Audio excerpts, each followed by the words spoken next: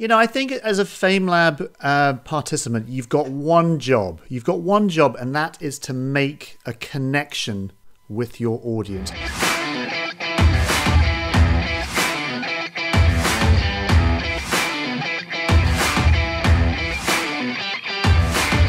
Hello, everyone. Welcome to Cheltenham Science Festival at home in association with EDF Energy and the FameLab UK final.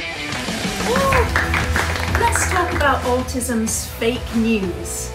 Figures and statements that have been misconstrued. What if I could create a parallel world?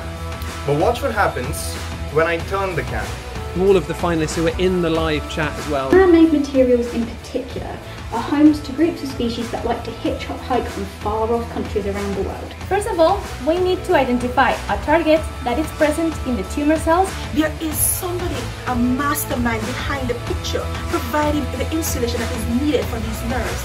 Hello again, Rebecca. Rebecca, you won FameLab UK 2020. You are the judges champion. You are the champion of FameLab UK 2020.